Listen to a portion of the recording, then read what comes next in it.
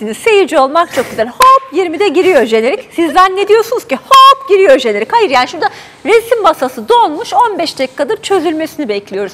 Nedir bu ya? Neden? Niye? Biz aslında normalde başka bir saatte bunun kaydını yaparken burada beklemiş oluyoruz. Beklerken Hazal'ın kasları gevşedi. Ondan sonra Ömür'ün göbeği sarktı. Aslında buraya geldiklerinde onlar sıkıydı. Yani Hazal daha da sıkıydı. Şu kadardı.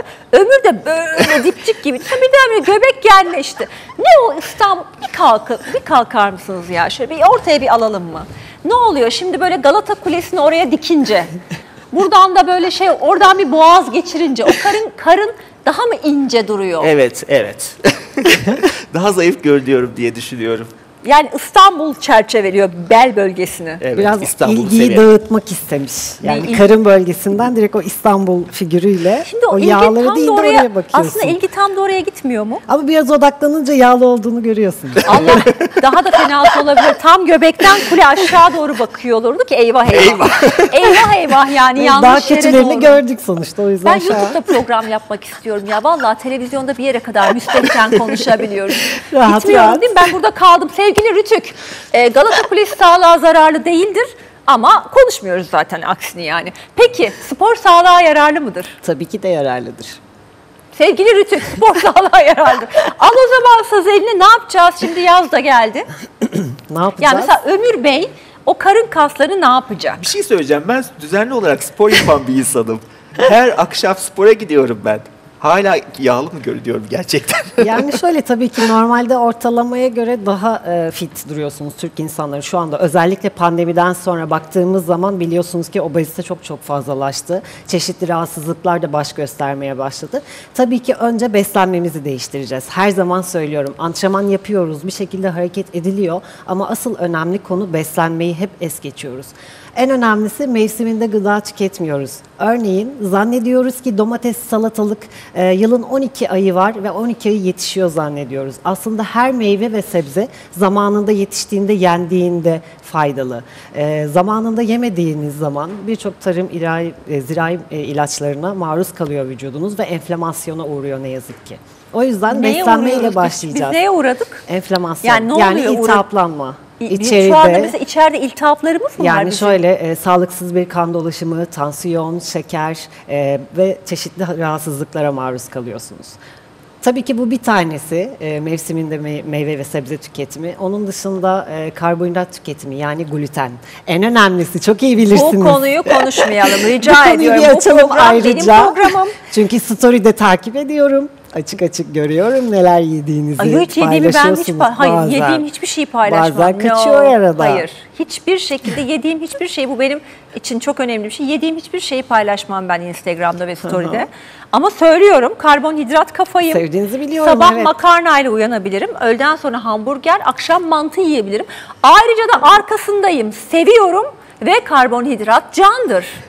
Ve her zaman zayıfım diyorsunuz. E ama ya neden ne, ne oluyoruz ya biz karbonhidrat yiyince? Yani bir pirinç pilavının güzelliği, bir bulgur pilavının güzelliği, bir mantının güzelliği, bir pişinin güzelliği. Yani şöyle söyleyebilirim, boş karbonhidrat saydığınız şeyler, beyaz un, şeker bunların hepsi vücutta bağımlılık yaratan şeylere sahip.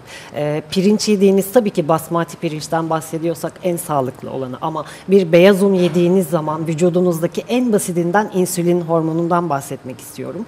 Basit şeker dediğimiz undan yapılan, beyaz undan yapılan bir ekmek yediğiniz zaman insülininiz direkt yükseliyor. Yükseldikten sonra direkt düşüşe geçiyor ve bu esnada doymuyorsunuz. Vücut sürekli hormonlar aktif bir şekilde çalışmaya devam ediyor. Doymadığını hissettiriyor ve tekrar yemeye devam ediyorsunuz. Bu sefer ne oluyor? İnsülin dalgalı bir şekilde devam ediyor ve bu da şeker hastalığını direkt tetikliyor. En basitini anlatıyorum şu an.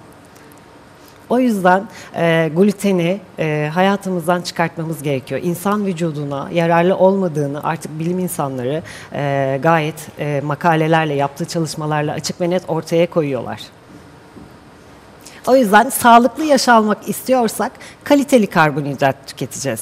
Yani bunlar nedir? Baklagiller olabilir. Tabii ki her insanın vücuduna yarayan e, baklagiller farklı. Ben mantı diyorum o da bana baklagil cevabıyla geliyor. Şimdi ben nasıl yani Evet, evet. Ee, baklagillerden tüketebilirsiniz, çiğ kuru yemiş tüketebilirsiniz. Çok güzel sebzelerimiz var, yeşil yapraklı topraklarımızda yetişen sebzelerimizden tüketebilirsiniz. Sağlıklı yaşamak istiyorsak beslenme kesinlikle çok çok önemli. Mutfağınızı değiştirmeniz gerekiyor. Ve bunun yanında tabii ki antrenman. Yani haftanın iki ya da üç günü ne olursa olsun e, antrenman yapıyor olmanız lazım. Bizim e, toplum olarak hatta dünyada birçok ülkede e, sorun şu. Biz spor yapmak için vakit ayırıyoruz gün içerisinde. Araya sıkıştırayım yarım saat sporumu da yaparsam yaparım, yapmazsam yapmam diyoruz. Ama asıl spora göre hayatımızı şekillendirdiğimizde nasıl sabah kahvaltı yaptığımda yemek yemeliyim, kahvaltı yapmalıyım diyorsak gün içerisinde spor yapmalıyımı hayatımıza yaşam tarzı olarak empoze etmemiz gerekiyor. Ancak o zaman sağlıklı bir yaş alarak e, güzel yaşlanırız. Kalk gidelim yalnız kalsın tek başına konuş. Vallahi bence de çünkü Ya, ben evet. de çok seviyorum bu söylediği yiyecekleri. Böyle zaten ortama girdiğimde böyle anlatmaya başladığım zaman tamam yeter biz öğrenmek istemiyoruz. Herkes istediği şeyi yesin, duymak istemiyoruz oluyor. Duymak Evet maalesef. duymuyorum, Maalesef acımasız ama gerçekler var. Ben e, bedenimi önemsiyorum ve bu bedenle bir ömür yaşayacağım. Dolayısıyla yediğim her şeyin sağlıklı olmasına dikkat ediyorum. Doğru antrenman yapmaya çalışıyorum hala ve e, dinlenmeme dikkat ediyorum tabii ki. Hepsi bir bütün. Yani diyor ki kendinizi tamir edin diyor. Yani diyor kitap Evet. tamircisi gibi bağlamaya gel. Ee, güzel. e, Kaç ay oldu bu çıkalı? E, 4 ay oldu. 4 ay oldu kitap tamircisi. Yani ne yapıyor kitap tamircisi? Kitap tamircisi e, bir kitap tamircisinin hikayesini anlatıyor ama bir taraftan da e, e, işte eşilen dağların, e, yarılan ovaların, e, kesilen ağaçların hikayesini de anlatarak. Kitabı tamir ederken dünyanın da iyileşeceğine inanarak. Biz çok tuhaf bir coğrafyanın insanıyız, e, hepimiz e, insanlarıyız. Düşünsenize bir şeyin en iyisi de bizde en kötüsü de. Ee, 1962 yılında İstanbul Süleymaniye Kütüphanesi'nde bir kitap hastalıkları hastanesi kurulmuş. Ve orada hastalanan kitaplar iyileştirilmiş, e, dikişleri atan dikilmiş, e, kurtlanan kitaplar tamir edilip yeniden e, ömrü uzat, uzatılmış. Fakat aradan yıllar geçmiş ve bir darbe olmuş. Bir anda kitaplar yakılmış, toprağın altına saklanmış. En iyisi de bizde en kötüsü de. Böylesine tezatlarla dolu bir coğrafyada e, iyileştirmenin, ömrünü uzatmanın, e, eskiyen, yıpranan her şeyi yeniden tamir ederek hayatta tutmanın önemini anlatmak istedim aslında bu kitapta. Ya ne güzel, çok çok, güzel bir şey söylediniz. Yani o tezatlıklar, taraftan kitap hastanesi kuruyoruz, kitapları iyileştiriyoruz. Diğer taraftan kitapları yakıyoruz. Bu anlamda Arjantin'deki darbe döneminde çok güzel bunu anlatan bir kitap var. Kağıt Ev diye çok böyle küçük ama çok güzel bir kitap. Orada o kitapları e, su borularına e, kıvırarak nasıl sakladıklarını ve bütün bir evi kağıttan yapıp ama o kitapların bulunamayışını anlatıyor. Çok güzel bir e, kitaptır o da. Yani darbe dönemleri önce nedense hep böyle kitaplara ve düşünceye düşman olduğu için e, kitapları tamir ediyor etmeliyiz. Aslında her şeyi belki de tamir etmeliyiz. Tıpkı Kesinlikle. vücudumuzu da tamir etmemiz Kesinlikle. gerektiği gibi. Nereden başlıyoruz? Hadi o zaman hayatı tamir edelim. Buyurun. Hayatı tamir ediyoruz. Nereden başlıyoruz? Kırılan kalpleri tamir ederek başlayabiliriz. Ay ama o çok uzun. Şimdi ne yapacağım? Ben eski sevgililerimi mi arayacağım? Kalbini kırmış mıydım ben senin? Kırdıysam özür dilerim mi diyeceğim? Ne diyeceğim? Özür dilemek güzel bir şeydir bence her Niye zaman. arıyorum 20 yıl sonra Aa, mesela Onu adamı? aramayın canım. Ha, ne- Yani Ne yapayım? değer verdiğiniz insanlarla yan yana gelip konuşmak, onların gönlünü almak bence çok değerli. En basiti trafikte mesela insanlar birbirlerinin üzerine araba sürüyorlar öyle değil mi? Ya da e, bisiklete binen birine maalesef araba kullanan çok değer vermiyor. E, araba kullanan birinde kamyon kullanan çok değer vermiyor. Yani e, ne kadar güçlü, heybetli bir araca sahipseniz daha küçük bir araca sahip olanın üzerinde bir tahakküm kuruyorsunuz. E, bir kere e, bu konuda biraz hassas davranırsak bir kere e, oradaki kişiyi e, her şeyden önce kazanabiliriz diye düşünüyorum. E, onun kalbini kır- kırarsak onu en azından bir şıklıkla e, tamir etmeliyiz. Bir hata yaparsak da tamir Yani ne etmeliyiz. yapacağız? Mesela arabası Mesela- sürdük. E, akşam eve çiçek mi yollayalım? Ne yapalım? Hayır, Plakayı alıp. özür dilemek kafi. Yani e, ön- önüne mi kırdık yanlışlıkla, dalgın olabiliriz, kusura bakmayın diyebiliriz. Biz bunları yapmaktan vazgeçtik son yıllarda. Evet. Özür dilemiyoruz. Yani yanlışlıkla birinin ayağına Evet, bastığımızda. empati. Kaput sana Özür teşekkür etmiyoruz. Teşekkür etmiyoruz. Evet. Asansöre binince günaydın demiyoruz. Evet. Böyle bir de biri konuşunca da böyle bakıyoruz mal mal yüzüne yani. Hani konuşmak bile çok tuhaf geliyor artık. Ama e, Anadolu'da pek böyle değil biliyor musunuz? Ee, değişik, siz de çok geziyorsunuz. Başka şehirlere gittiğimizde insanların misafirperverliğini, nereden geldiniz diye sormasını hala işitiyoruz. Ama büyük şehirlerde biraz bunlardan vazgeçtik Nereden gibi. geldiniz diye sormak zarafet mi? Ba- Bana e, Gelmiş olma hoş eğilimi- geldiniz buyurun Ha. nereden geliyorsunuz filan Ha, diye öyle sorarlar yani nereli ya. olma hali var yani hemen nerelisine gireriz ya. E, ben bu tür şeylere çok e, önem vermem. Yani mesela e, bir insanın hatta işte şu şuradan e, şuranın insanları iyidir, buranın insanları kötüdür diye laflar söylenir bizde ama her yerin iyisi de vardır, kötüsü de. Memleketçilik bir hastalık gibi bence. Evet değil mi?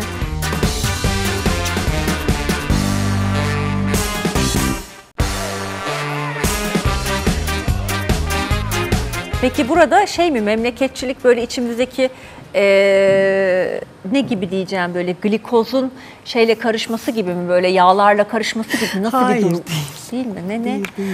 Memleketçilik mi? Yani onu tarif edersek Yani vücutta. tabii ki Türk insanı ister istemez gittiği zaman bir yerde hep bununla alakalı skeçler de çok çok fazla yazılıyor. Yazılarda, Twitter'da mention olmuş sözcükler de var tabii ki.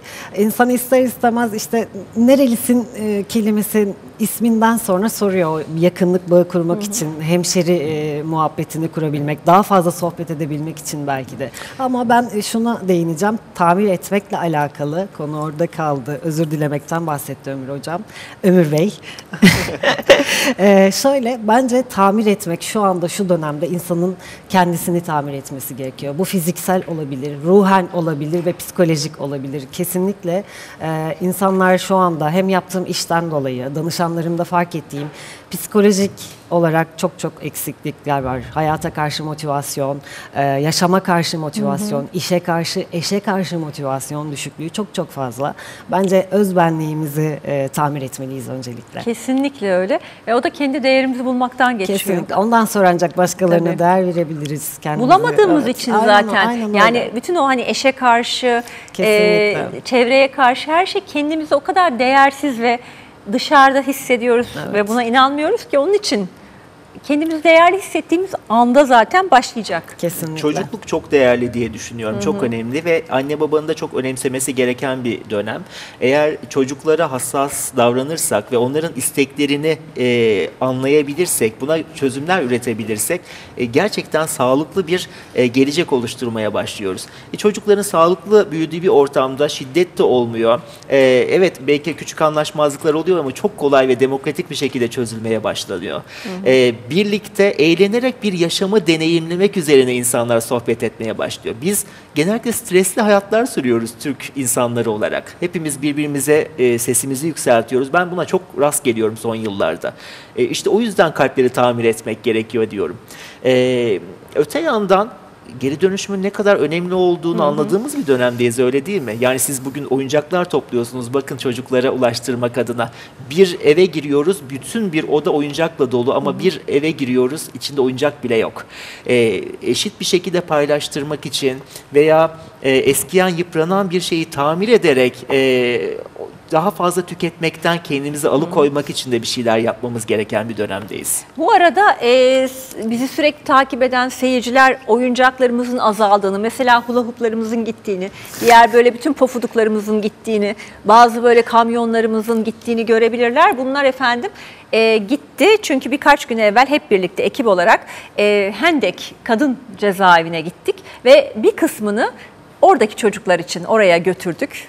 Cezaevi müdürüne teslim ettik yetkililere. Kalan kalanları da e, Diyarbakır'a gidecek efendim. Bir süre sezon finaline kadar bunların burada kalmasının daha doğru olacağını, stüdyo çok çıplak kalmasın diye istedik. Onlar da Diyarbakır'a gidecek ve Diyarbakır'da da e, Yusuf öğretmeni hatırlıyorsunuz. O oradaki okullara ve ihtiyacı olan çocuklara bizimle ve ekibimizle beraber dağıtacak. Onun da görüntüleri gelecek. Onu da belirtelim. Diyarbakır'a gidecek oyuncaklarımız için burada bir ay bu ne tatlı bir şey kaplumbağa. Evet karette karette. Ve bu şey sırt çanta. çantası. Evet. Ay güzel ama ben bunu böyle şey gibi hani Laura Ingalls şapkası olarak da olabilir. Sırtta da olabilir. Güzelmiş bu ya çok güzelmiş. Ee, sırt çantası dik durmaya yardım eder mi Hazal Hocam? Çift kol takılırsa biraz evet, biraz böyle onu. sağlayabilir ama çok da ağır sürekli Hala taşıma hala yapmamak. güzelim, hala fitim ya. Ee, bu da çok tatlı. Bu yeğeninizin galiba değil mi? Evet bu yeğenimin dinozoruydu. Ee, götürebilir miyim diye sordum. Lütfen götür. Ay, ben oynadım. Şimdi benim. başka çocuklar oynasın dedi. Diyarbakır'daki çocuklar oynayacaklar inşallah. Bu da bir uçurtma. Evet, özgür Böyle. olmaktan. Özgür olmak. Göklerde. Vazgeçmesinler. Evet ya Hayal kurmaktan kadar güzel. Ve o da bilyelerimiz. Bilye getirdim. Evet. Nasıl oynardık Çocukluklarımızın çocukken? evet oyuncakları. Şu anda bütün oyuncaklar çok güzel tabii ki dijital olanlar işte ellediklerimiz ama çocukluğumuzun oyuncakları, sokakta oynadığımız oyuncaklar kesinlikle umarım şu andaki bütün çocuklarımız sokaklarda oynamak için yani şans bulabilirler. Biz şanslıydık sokakta oynayabildik. Onlar da oynayabilsinler Çok diye. güzel. Vallahi çok teşekkür ediyoruz. Bunlar Birini da de bizi- ekibe getirdim. Renk- yayından sonra atacağız. Hiç gerek yok. E, ekibe mekibe ekip zaten burada bir dakika itirafta bulunacağım. Ekiple programa başlayamıyoruz. Herkes burada oyun oynuyor.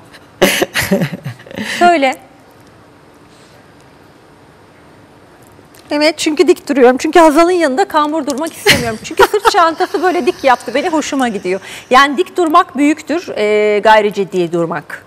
Dik durmak daha mühim. Şu anda dik ama vakur ama gayri ciddi duruyorum. Sırtımda bir kaplumbağa. Ay kiracım beni evden çıkarıyor falan Ceyhun. Kiracım beni arkadaşlar kiracım beni evden şey kiracım ev sahibi bu kadar evi tabii 12 yıl oturunca ev sahibim beni evden çıkarıyor. Yetti artık defol git dedi. Tabii kabaca hayır çok seviyorum o, o taşınacak da.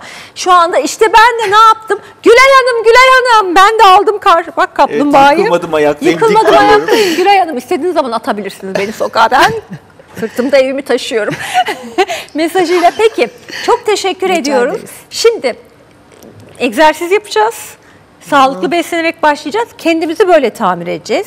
Kendimizi tanıyıp kendimize değer vereceğiz. Kesinlikle. Hayata karşı dik duracağız. Özgüvenli ama yani özgüven böyle Kesinlikle. poposu kalkıklık değil. Popon, Evet. popon kalkık değil mi Hazal? Popom kaldı. Bir seni ayağa alayım mı? Ya lütfen bir insanlar Evet, bak şey bu peşin satan ve bir aramızdaki fark. Nereye Şimdi geçeyim, nasıl Evet bak şimdi efendim? kadına bak bak. Karın bir yan dursana bak bak Hazal bir yan dur karnını bir görsünler. Şöyle yan dur. Ha, bir de benimkini görsünler bak hiç hiç yapanla yapmayan bir gitmiyor. Yok, Buraya bak, kadar gidiyor ya. iyisin. Tamam ondan sonra bak aa popoya bak bir de benimkine baksınlar. Hiç yapanla yapmayan bir olur mu? Ben de o kadar kötü değilmişim ya ama sen Hayır, çok gayet tat. Şimdi senin bu böyle taşlığın her gün kaç saat? Aa, her gün kaç? Ay o ne be? çok ayıp. Bir de koluna dokunabilir miyim? Her gün Gayet, bir daha yap kolunu, bir daha yap kolunu öyle. Dokunayım bak bir de benimki, benimkine sen dokun.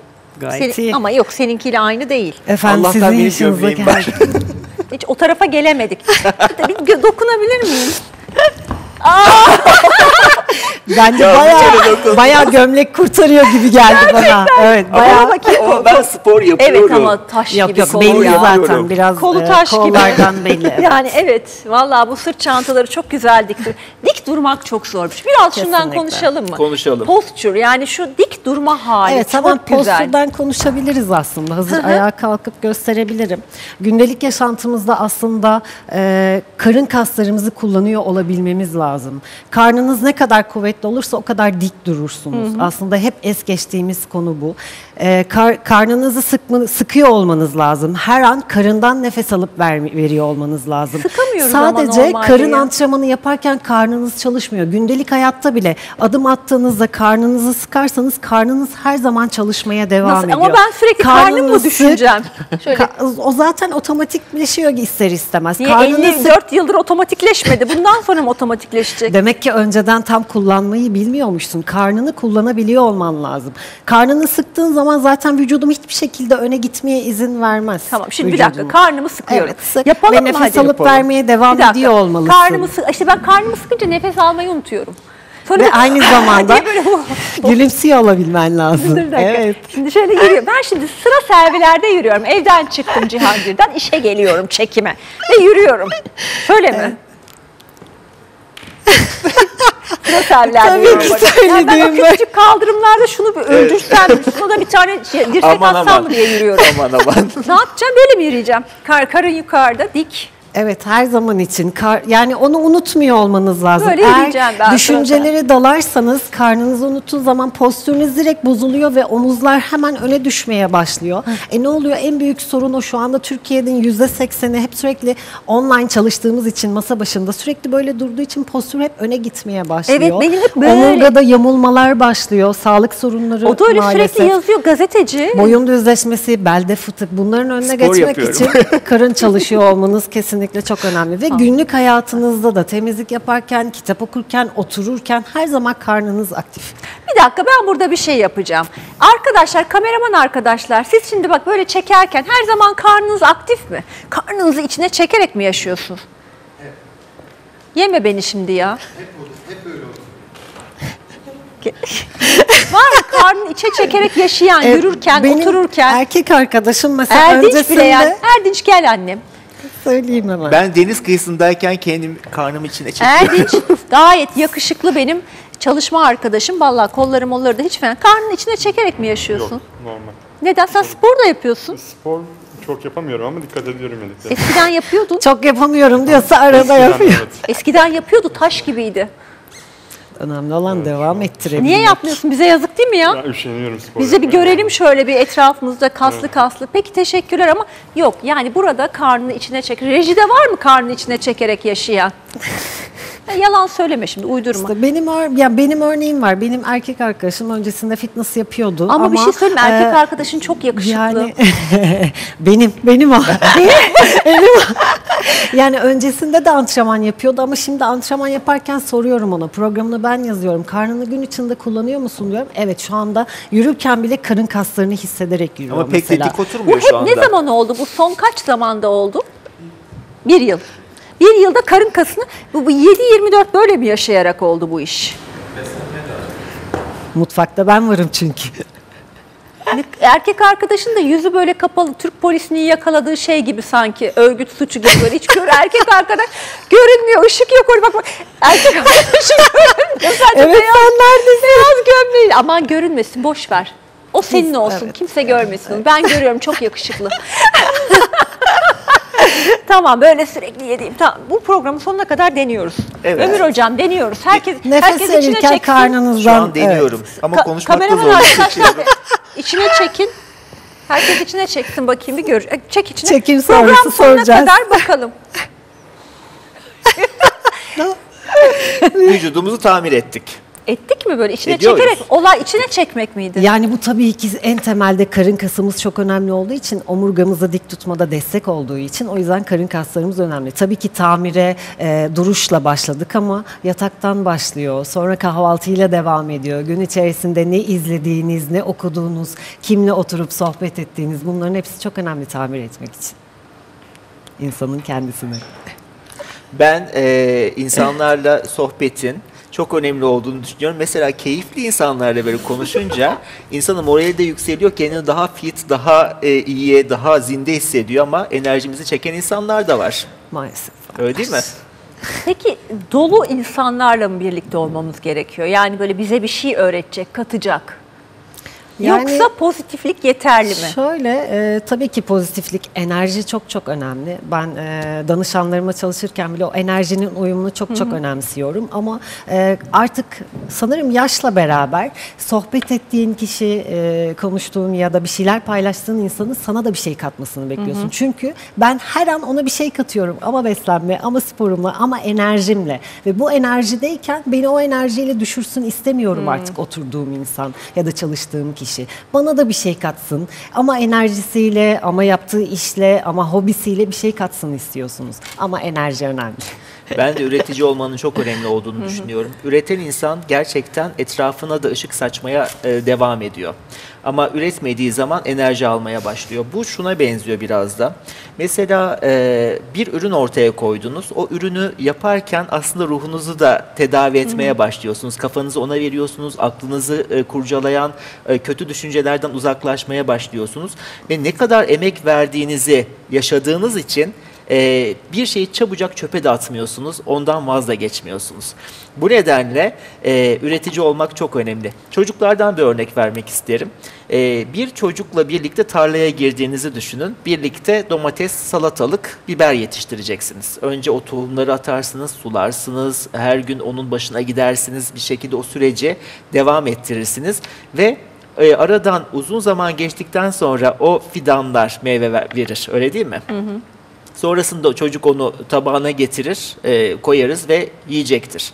Fakat tabağında bırakmadığını fark ederiz. Bunun örneği çoktur bu arada. Bununla ilgili araştırmalar yapılmış. Evet. Çünkü çocuklar e, o emek sürecini yaşadığı için ondan vazgeçmiyorlar. Yani Ama tamamını yiyor. tamamını Ne yiyor. kadar zahmetli olduğunu bildiği için. Ama biz o kadar tüketmeye alıştık ki son yıllarda alışveriş merkezlerinde çok hızlı e, yaşamı öğrendik ve böyle bir vakit geçirmeye başladık.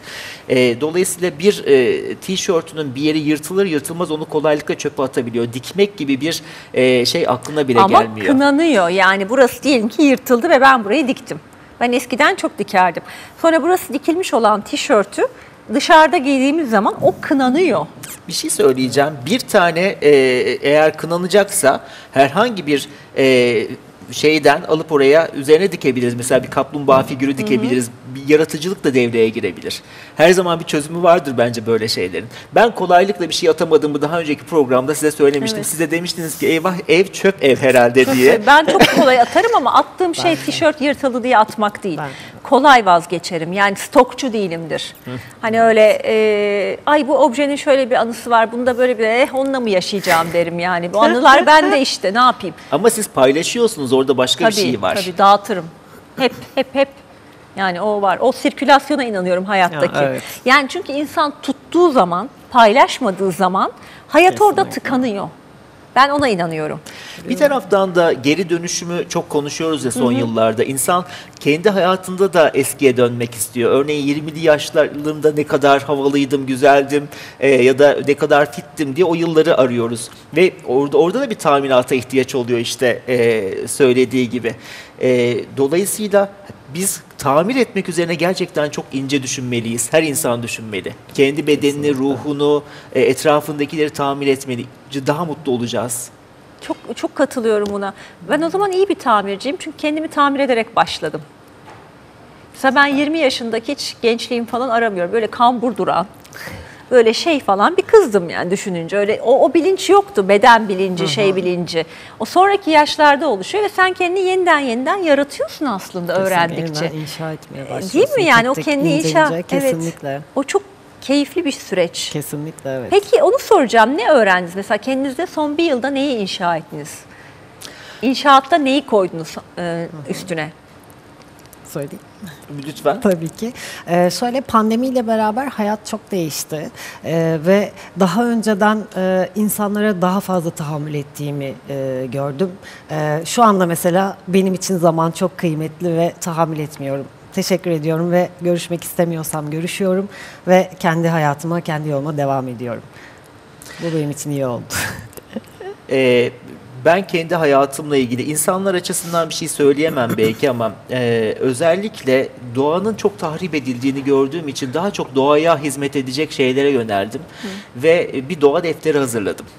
E, Pandemi sürecinde yaptım bunu. İçinde e, ülkemizde nesli tükenmekte olan bitkiler, hayvanlar veya çok özel yerler, keşfedilmesi gereken özel e, mekanlar konusunda çocuklara e, kendi yorumlarını da yazabilecekleri, etkinlikleri de yapabilecekleri bir defter hazırladım ve gelirini Tema Vakfı'na bağışladım.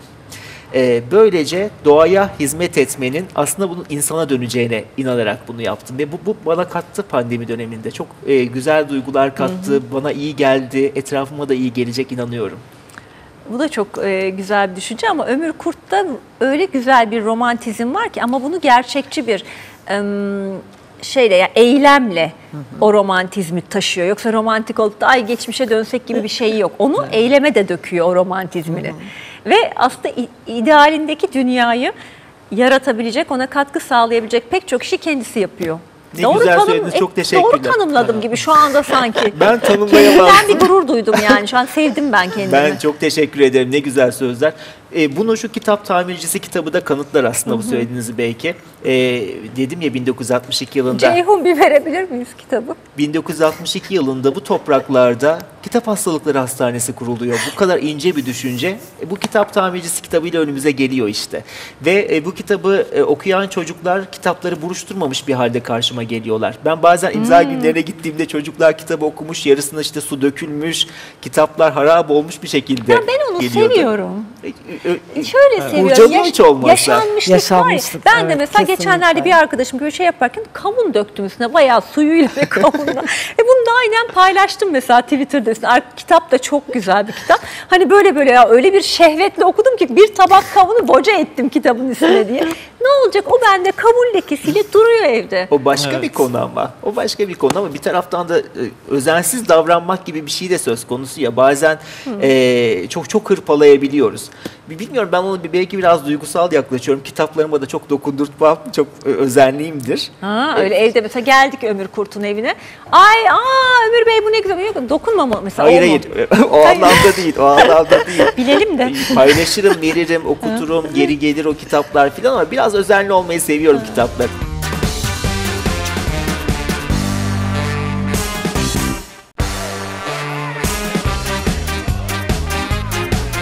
Eskiden böyleydim.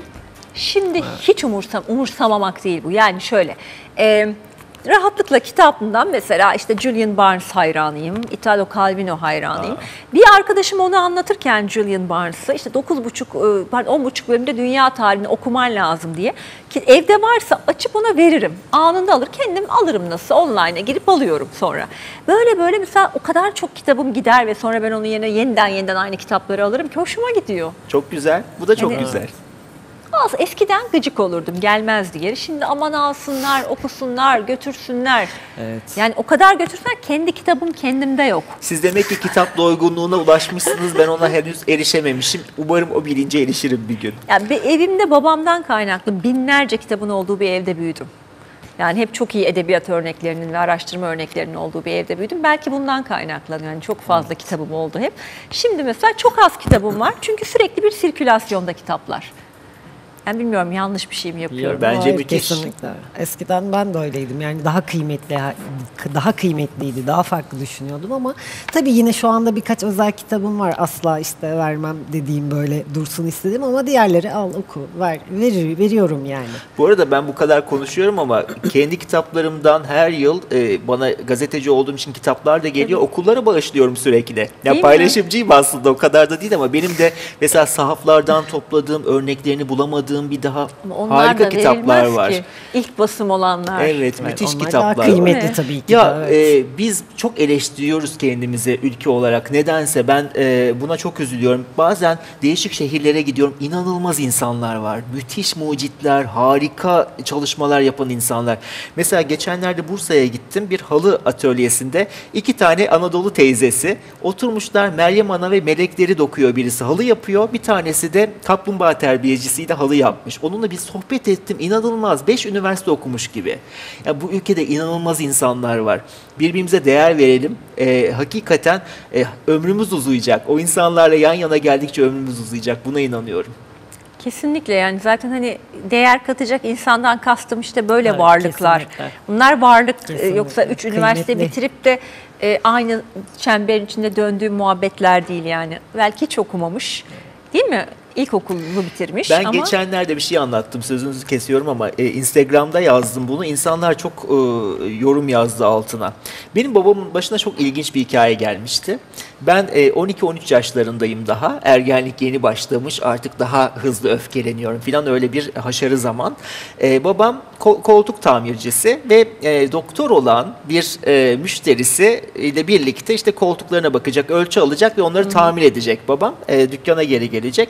E, müşterisi e, kaldırımdan yürüyormuş. Babam biraz yoldan yürüyormuş. E, müşterisi babamı şöyle tutup çekmiş. Gel gel buraya demiş. Sen şimdi bana emanet bir malsın. E, başına bir şey gelir, araba falan çarpar demiş. Babam gelince bize bunu anlattı. Ben çok sinirlendim. Nasıl ona e, işte cevabını vermezsin? İşini almak zorunda mıydın? Neden bırakmadın? Çok tepki verdim ergenliğinde verdiği şeyleri. Babam bana güldü ve dedi ki oğlum dedi bu yaşa gelmiş doktor olmuş. Nasıl davranacağını öğrenememiş. Ben ne öğretebilirim ki ona? Ama işte Gülmüştü. kişiselleştirmemek. Evet. Yani orada baba onu kişiselleştirmiyor. Bana böyle yapıyor demiyor. O bunu bilmiyor diye bakıyor. Ve ben bunu bugün anlıyorum ama. O, o yaşımda anlamıyordum. Çok zor bir şey kişiselleştirmemek ama. Karnı sıkıyoruz değil mi hocam? ha kar, karınlar sıkı. O da orada böyle şey gibi ya polis, Ee, Evet yani yapmayın. fitness polisi.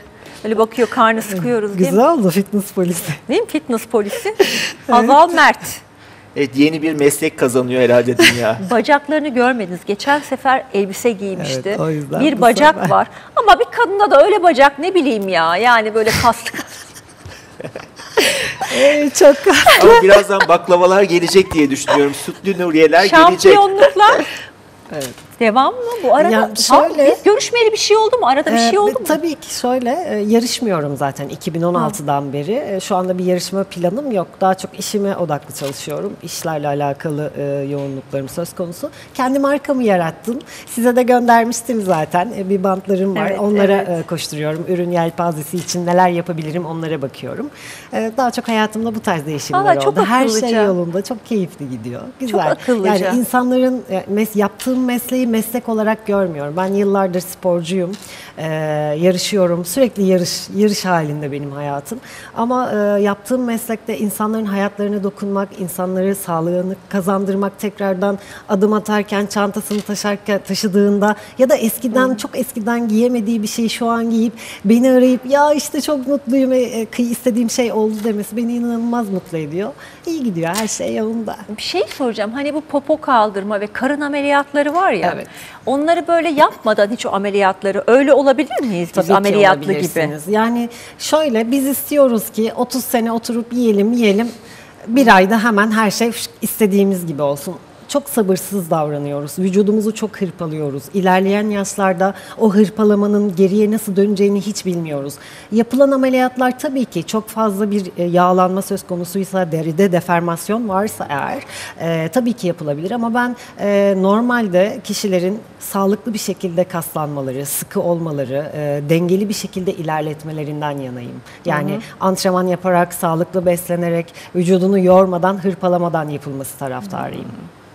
Yani ameliyat vererek. yaptırmayalım, spor yapalım. Evet, spor yapalım. Fazla deriler varsa o deriler zaten sonrasında alınabilir. Ha, onları Bir aldırabiliriz. şey Evet, söyleyeceğim. aynen Çok kilo alıp Estetik onu açısından. verince deri esniyor aslında ve kötü bir görünüme mi Evet. kavuşuyor? Ya İşte onu gerdirebilirsiniz evet, diyor. çözülme aşaması şöyle. Yağ asitleri birbirine tutunuyor. Siz yedikçe yağ asitleri birbirine tutunuyor ve onun parçalanması zor oluyor. Beslenmeyi düzenleyip antrenman yaptıkça yağ asitleri birbirinden ayrılmaya başlıyor. Derinizi ince e, elinizle böyle sıkıştırdığınızda ince ince top halinde elinize gelen şeyler yağlarınız. O yağlar çözüldükçe vücutta e, karın düzleşmeye başlıyor ve yukarıdan aşağıya doğru gidiyor o. Aşağıda ufak birikme yapıyor sonra deri hafif düzleşiyor. Çok minik kalıyor. Sanki hiç o deri düzelmeyecek gibi geliyor ama belli kilolara kadar o deri gerçekten dümdüz oluyor. Bu gözler çok şey gördü. O yüzden gerçekten oluyor. Yeter ki devam edip e, disiplin ve azimle hayatınızı e, su içmek, yemek gibi, yemek yemek gibi empoze etmeniz gerekiyor sadece. Ee, yağ kasa dönüşür mü? Böyle bir yanlış var diyor Ceyhun. Acaba Ya evet, ondan da bahseder hala mi diyor. yıllardır bu sektörde e, 16-17 senedir varım ve yağlar kasa dönüşür mü diye hala e, soru alıyorum tabii ki de. E, şöyle söyleyeyim, yağlar ayrı hücre, kaslar ayrı hücredir. Bunların ikisi birbirine dönüşmez, birbirinden ayrılmaz. Yağlar vücutta yakılır, kaslar da elde edilir. O kadar. Yani bir kolektif bilinç Evet, yok aralarında. aynen. öyle. yani Birbirine öyle. dönüşmesi ya da birbirinden ayrılması gibi bir şey söz Birbirleriyle konusu değil. alakaları yok aslında. Birbirleriyle alakalı yok. Ara, farklı şekilde çalışıyorlar. Ama şunu ilave etmeliyim. Ee, yağ, vücuttaki yağ bu kadarken yani vücutta daha fazla yer kaplıyorken kas ise sadece bu kadar. Yani 50 kilo yağlı birisiyle 50 kilo kaslı birisi arasında fark görebilirsiniz yani. Yağ vücutta daha fazla yer kaplıyor. Ne oluyor? Sıkılaşıyoruz mesela. 40 kilo başlıyorsunuz spora. Sıkılaşıyoruz. Bakıyoruz. Hala 40 kiloyum ve kilo vermedim diyorsun. Aslında yağ kaybediyorsun. Yerine kas koyuyorsun. Kas daha ağır olduğu için kilon meç oluyor. Ama vücutta bir incelme var. Değişim söz konusu oluyor. İşte burada da rakamlara çok takılıyoruz gündelik yaşantımızda. Her gün tartılma, işte rakamda değişiklik yok. Hayır, aslında aynada gördüğün, sabah kalktığındaki o vücudun hafifliği, rahatlığı, giydiğinde vücuduna e, kıyafeti yakışması. Bunlar en önemli şeyler. O zaman mesela ben bir kilo aldım son zamanlarda ama bir kilo alacağım bir durum da yoktu. Kas oluyor, o, kas olabilir mi o? Tabii ki, tabii ki. Eğer tartıda rakamsal değişiklik varsa, e, düzenli spor yapıyorsanız eğer tabii ki e, rakamsal değişiklikler olması çok normal. Patates yiyerek mi oldu o kas diyerek içinden diye gülmen. Yani kulağıma. Evet patates yiyerek oldu. Spor yapıyorum ben pilates yapıyorum Ceyhun. Ne konuşuyorsun bıdır bıdır haberin yok daha dünyadan. Allah Allah. Spor yapmadanmış. Bak kasımı gösterdim demin ya. Evet, bayağı var. Bayağı, Geçen aha, programa bayağı- göre değişim Bak, var lütfen var diyor. arkadaşlar. Ne oldu? Hakkını yemeyelim. Ee, benden al kamerayı sen Ömür Kurt'u göster ya da Hazal Mert'i göster. Ne oldu Ceyhun? ne oldu Ceyhun? Burada bilir kişi söylüyor. Hadi baklava mı? Baklava istedi Ömür Bey. Baklava gelsin.